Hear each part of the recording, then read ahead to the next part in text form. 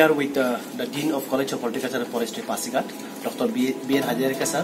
So after knowing the this fall armyworm uh, being found in this uh, university campus, the Pasighat news team has just come to this university campus and uh, we are now discuss in details regarding this space and all. So, uh, sir, uh, you from uh, Dean uh, College of Horticulture and Forestry and also the Dean of this uh, Agricultural College Pasighat.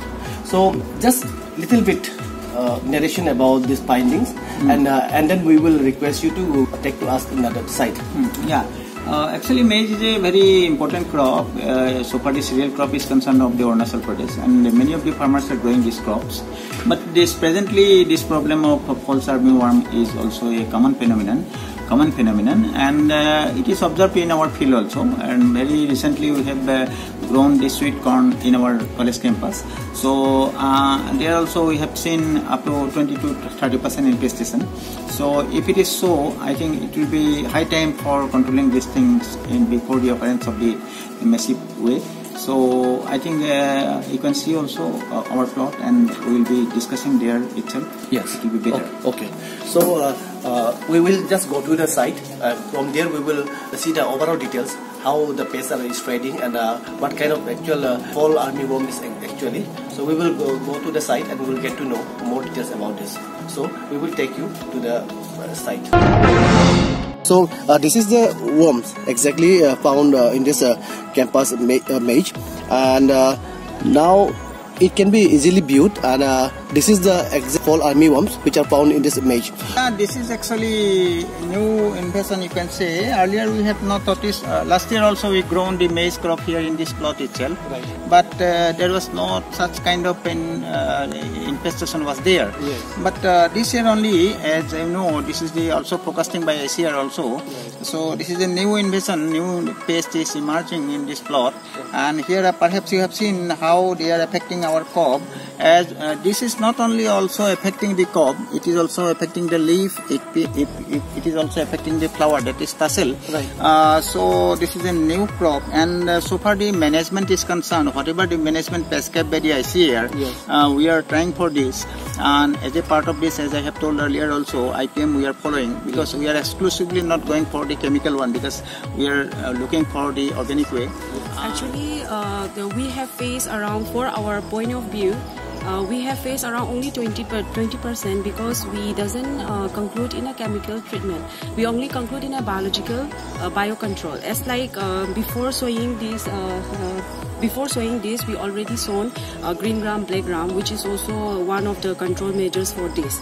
And this and another control measures for biocontrol, Sir also has informed that for the increasing in a plant density and the, the plant density is also increases there and and number three point is we already gone through intercropping system with the pulses Okay. this is also one of the biocontrol which is not much uh, the infestation in our because in our field comparing to our no, uh, other northeastern region there are uh, vast uh, eradication yeah vast affected by this fall uh, this armyworm First of all, when we started growing the crop, we did not found any infestation of this pest. Okay.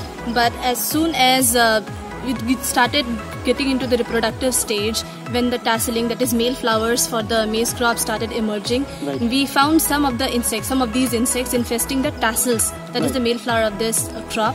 And later, when the crop started developing, it started infecting the portion where the st- silk, that is the female flower, emerges. And it started eating or sucking the juice from the grains of the maize cob and uh, hence it increased into the whole field so it did not emerge for us in the vegetative stage but rather when the cob started developing Actually, when we started from maize crop, then initially there was no any infestation. When after 60 days, uh, uh, it means the tasseling infestation was there.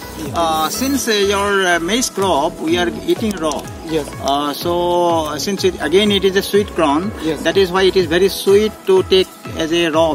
Okay. Yes. So under that situation, if you are going for the chemical method of controlling this insect, Right. so that may create a health hazard. Yes. And that is why our best best option we have given to you is the hand picking. Okay. Because uh, now the infestation so far you have seen, Yes. uh, it is not so severe here. Only one or two uh, insect per cob or per plant is there, and in most of the plant it is free of this pop paste. Yes. And that is why we are advocating or advising them to go for hand picking so that initially we can destroy the paste. Mm. So there are some other students also who is uh, also uh, given the job of growing this crop.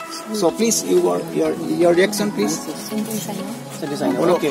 So you, oh, Monica. Uh, this is a new, first time we're facing it. Yes. And then um, it's, going this like damage after. Hmm. Um, crop. Yes. And then like, but in our thing, it's not the same. so Okay. far. Okay. Okay. Your, your reaction.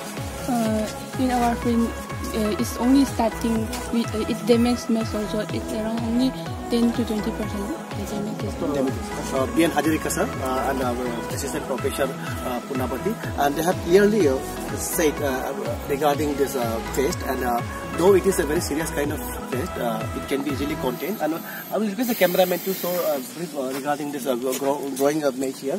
So we can see the, the, the healthy maize grown here in the campus of College of Horticulture and Forestry and this college is especially very widely known for practicing and growing of many uh, kind of crops here and uh, by growing such crops they have also been uh, creating awareness across the farmers of this region especially uh, peripheral district of this uh, East district and um, now after finding this kind of pest, uh, uh, Dr. Hazarika is very serious and uh, his team, especially the department concerned, they are also looking after finding out all the measures so that such kind of pest could be regulated in days to come.